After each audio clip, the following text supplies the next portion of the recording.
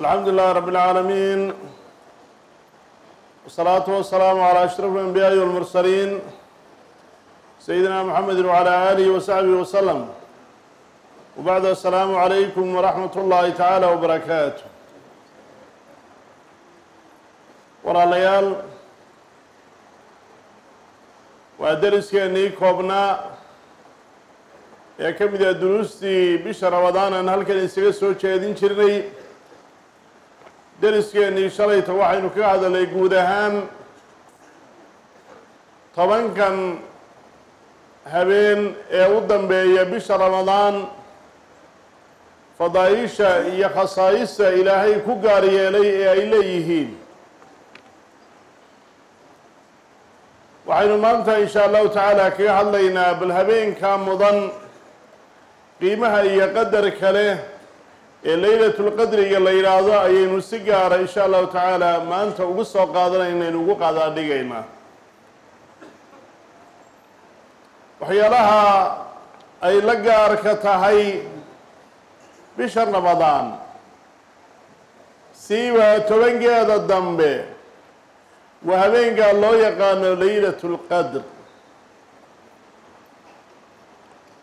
waa habeen ilaahay uu ku galadaysay oo uu ku gaar yeelay ummadda nebiyullaahi moxamed sala allahu calayhi wasalam cimrigooda gaaban iyo waqtiga aakhiru zamaanka ah ay nool yihiin daraaddeed ayaa ilaahay habeenka qofkii ilaahay waafajiyo ajriga iyo abaalmarinta iyo mushqaayadda badan ilaahay uu siinayo ayaa ilaahay ku gaar yeelay nabigeenu sala allahu calayhi wasalam habeenka isoo ka hadlaya wuxuu yidhi bisha isoo ka hadlaya waxaa ku sugan habeen kun biloodka khayr badan. Qofkii habeenka la seejiyo khayrkeeda iyo barakadeeda la dhaafiya faqad xurim. Waa qof khayr iyo wanaag oo dhan la dhaafiyey oo la seejiyey weeyaan. Ilaahayna ma dhaafiyo. Ilaahay waxaynu weydiisanaynaa inuu ina waafajiyo habeenkaa ilaahay waa inaga qariyey iyadoo nebigu sala allahu calayh wasalam doonayay inuu sheego ayuunbaa laba nin isqabteen agdiisa ku murmeeno markaasaa ilaahay uu ilow siiyey marka waxaa laynooga qariyeyna xikmadda ku sugani waxa weeye inuu khayrkeenna iyo camalkeennu inuu bato oo aynaan camalkeenna ku soo ururinin habeen qurhe inaynu habeenada oo dhan bisha ramadaan siiba tobankaa dambe inaynu cibaadaysano inuu camalkeenna wanaagsan badsanno awgeed ayaa ilaahay inooga qariyay waxa ilaahay kala saarayaa alla waa ogyahay uu muujinayaa yuu soo bandhigayaa bal qofka ay ka dhabta tahay habeenkaa doonideeda iyo ka faa'iidaysigeeda iyo camalfalkeedu iyo ka wahsanaya ee aan u jeedin ayaa ilaahay kala saaraya ayuu muujinayaa walaalayaal habeenkaa ilaahay baa qur'aankiisa ku sheegay. Ilaahay wuxu uhi ina anzalnaahu fi laylati mubaaraka inaa kuna mundiriin fiiha yufraqu kulu amrin xakiim amra min cindina ina kuna mursiliin raxmata min rabbik inahu huwa asamiicu alcaliim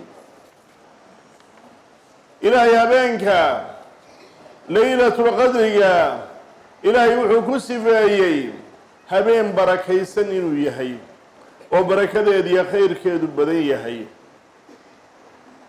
Barakada iyo khayrka habeenkaasi leeyahayna waxaa ka mid a kitaabka qur'aanka hanuunka bashariyad iyo bini aadmiga u ah xaqa iyo baadilka kala caddaynaya u kala saaraya waa habeenka ilaahay uu bilaabay soo dejintiisa. Ina anzalnaahu fi leylati mubaaraka.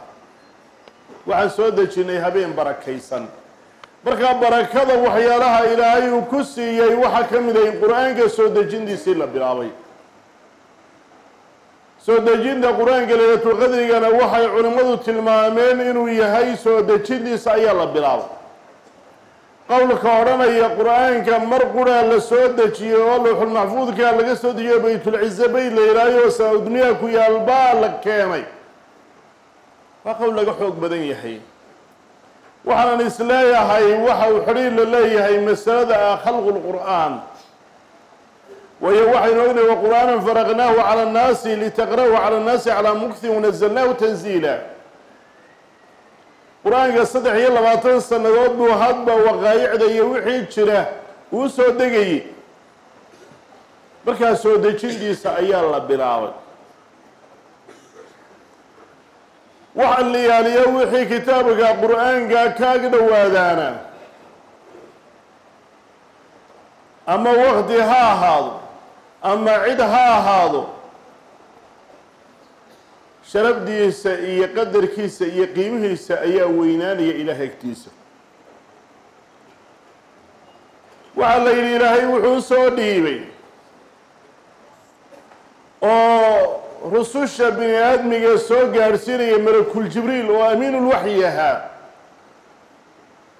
Fa saara afdala almalaa'ika waxa uu noqday malaa'igta kii ugu qiimaha iyo fadliga badnaa buu noqday maadaama oo safiirkii ilaahay u soo dhiibaya wasiidkii ilaahay uu soo dhiibaya risaalooyinka iyo qur'aanka ugu dambeeyey rususha uu yahay ambiyada kii ugu fadli badnaa buu noqday. Qur'aanka ilaahay wuxuu ku soo dejiyey calaa nabiyullaahi moxamed sala allahu calayhi wasalam ayaa ilaahay ku soo dejiyey. Fa asbaxa sayida wa afdal اlkhalq salawaatu ullaahi wasalaamu calayh wuxuu noqday mudankii iyo kii ugu fadli badnaa khalqiga rusul iyo ambiyo iyo khalqiga oo dhan kii ugu mudnaayo ugu fadliga badnaa ayuu noqday. Qur'aanka ilaahay wuxuu soo dejiyey fii shahri ramadaan. Markaasaa waxay noqotay sayid wa afdal shuhuur. Bilaha tii ugu mudnayd ee ugu fadliga badnayd bay noqotay ilaahay bishii haddana wuxuu uga sii dooray laylat alqadri baa ilaahay uga sii dooray. Fa saarat afdal alayaali waxay noqotay habeena ugu fadli badnayd ayay noqotay. Waxaa ilaahay ku soo dejiyey calaa ummati muxamed kitaabka qur'aanka. Fa asbaxat khayra ummatin ukhrijat linnaas. Waxay noqotay ummatii ugu khayr badnayd markaa habeenka laylatulqadriga barakadiisa iyo qiimihiisa waxaa tilmaamaya ilaahay qur'aanka soo dejintiisa ayuu bilaabay. Ilaahay habeenkaa wuxuu inoogu tilmaamay fiiha yufraqu kullu amrin xakiim habeenkan waxa la soo jaraa oo la soocaa oo lowxulmaxfuudka laga soo soocaa oo laga soo jaraayo malaa'igta katabada loo soo gudbiyaa waxa la yaaliyo wixii amar ilaahay ee ahaanaya sanadka ayaa malaa'igta habeenka afarta laga saaraa dhimasho nolol risqi khayr iyo shar wixii imanaya sanadkaasee dhacaya habeenkaasaa la soo jaraa sida ilaahay kitaabkiisa inoogu sheegayo waxaa kaloo ilahay yihi ina anzalnaahu fi laylati اlqadr wma adraaka ma laylat اlqadr laylat اlqadri khayru min alfi shahr tanazl اlmalaa'ikaةu wاlruuxu fiiha biidni rabbihim min kuli amr salaamu hiya xataa maطlaci اlfajr ilahay wuxu uhi qur-aanka waxaan soo dejinnay habeenkaa laylat اlqadr qadri muxuu yahay waa habeenkii sharafda iyo qiimaha iyo weynida lahaa ama waa habeenkii qadaridda iyo qadaha lahaayee ilaahay habeenkaa uu qadarayey wixii sanadka ahaanayey ee malaa'igta katabada loo soo gudbinayay. Ilaahay wuxu uhi laylat اlqadri khayru min alfi shahr. Laylatulqadrigu waxay ka khayr badan tahay kun bilood. Xagga fadliga sharafda abaalmarinta iyo ajriga iyo qofkii habeenkaa cibaadaysa waxa uu ka fadli badan yahay kun bilood oo laylatulqadri ku jirin ayuu ka fadli badan yahay camalka aada habeenkaa qabata hadduu yahay salaad hadduu yahay qur'aan hadduu yahay dikri hadduu yahay duco hadduu yahay cibaado kale waxa uu ka fadli badan yahay kun bilood saddex iyo siddeetan sano iyo afar bilood camalka la qabtaa buu ka fadli badan yahay. Ilaahay wuxu uhi tanazalu lmalaa'ikatu waruuxu fiiha waxaa soo degta baa ilahay malaa'igtaa soo degta habeenka. Malakul jibriil baa weliba soo dego oo si gaara ilaahay xusay fadligiisa iyo qiimaha uu leeyahay. Malaa'igtuna waa addoommo ilaahay oo cibaadadiisa u taagan habeen iyo maalin. Leylatu lqadri khayr iyo baraka iyo naxariis bay habeenkaa ula soo degayaan. Salaamun hiya. Ilaahay wuxu uhi waa habeen nabadgelyo mu'miniintu ay wax kastoo ay ka cabsanayaan ay ka nabadgelayaan. Cidda ilaahay naarta ka xoraynayo ee cadaaba ka badbaadaysa ayaa fara badan. Sidaa daraaddeed baa habeen nabadgelyo ilahay uu ku tilmaamay. Xataa madlaci ilfajr macnaha habeenkaasi waxa uu yacni waxaasoo khayra iyo wanaaggaasi uu soconayaa ilaa inta waagu ka dilaacayo. Marka walaalayaal haddaynu suuradda dib aynu u milicsanno waxa ilaahay inoogu tilmaamay qur'aanka hanuunka basharka iyo liibaantooda adduun iyo aakhiraba soo dejintiisa in la bilaabay. Ilaahay waa weyneeyey. Wamaa adraaka maa laylatu lqadri maxaa ku ogeysay maxaad ka ogtay? Maxaad kala socotaa? Bal waxa ilaahay weyneeyey ee uu sidaa u dhigay intay leeg tahay waa waxaan la soo koobi karaynin ilaahay wuxuu tilmaamay kun bilood inay camalka la sameeyaa ka khayr badan yahay. Ilaahay wuxuu sheegay inay malaa'igtu habeenkaas soo degto oo khayr iyo barake iyo wanaag iyo naxariis ay u soo degaan.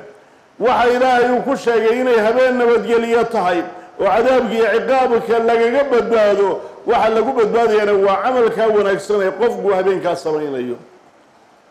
Waxaa ka mida ilaahay fadligeeda suurad dhammaystiran oo suuratu lqadri la yidhaahdo oo ilaa qiyaami saaca la akhrinayo ayaa ilaahay uu ku soo dejiyey.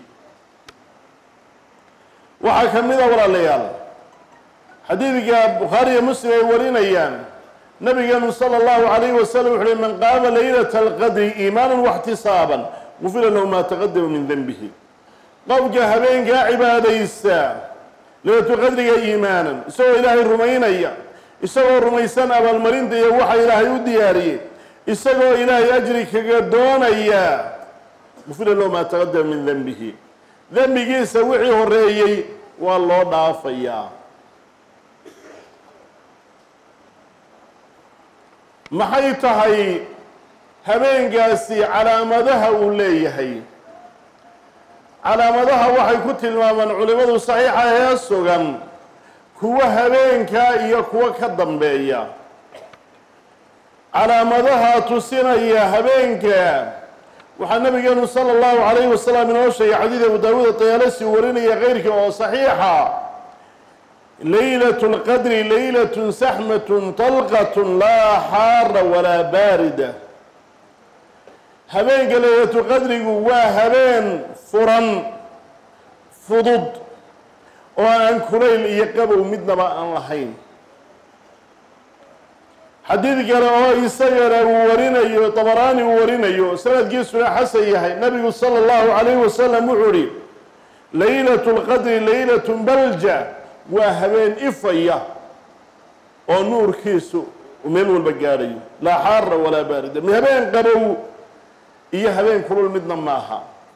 Habeenkaa shuhubtan iyo fallaadhadan xidigaha laga soo ganee shayaadiinta lagu gano habeenkaa ma jiraan baa nebigu sala allahu alay slam yidhi. Waayo shayaadiintii waa la wada xixiyay maradadoodii. Malaa'ig baana soo degayso wada waa wada gabanayaan oo fartay ku gabanayaan iskorkorkay samaynayeen ay markaa malaa'igta soo dhegaysanayeen maba samaynayaan habeenkaa waa habeen ay dhufays ku wada jiraan. Midna fartiisu ku gabanayaan markaa wax lagu soo ganaya habeenkaa ma jira shuubtaasi ma jirto maalinteedana wuxuu yidhi waa maalinta calaamadeeda tadlucu shamsu laa shucaaca laha. Cadceeduna waxay soo baxaysaa iyadoon fallaadha iyo shucaac midnaba lahayn ayay soo baxaysaa. Waxaa ka mid a calaamadaha uu habeenkaasi leeyahay sakiina tumaaniina inshiraaxu sadri lcibaada inuu qofku xasilooni deganaansho yacni cibaadadii u ufur u furanta oo aanu wahsi iyo markaa midnaba aanu dareemin ayaa ka mid a calaamadaha habeenkaasi uu leeyahay. Habeenka maxaa ugu wanaagsan ee lagu ducaystaa? Xadiidka saxiixa ah. Saxaabada rasuulku ridwaan ullaahi calayhim ajmaciin nebiga la joogay rag iyo dumarba meel kasta oo khayr yar iyo wanaaguu ku jiro way inoo soo gudbiyeen waanay dabooleen nabiga sala la alay slm way weydiiyeen. Caaisha waxay tihi yaa rasuul allah ka waran habeenka hadduu ilaahay waafajiyo. Maxaan idhaahdaa?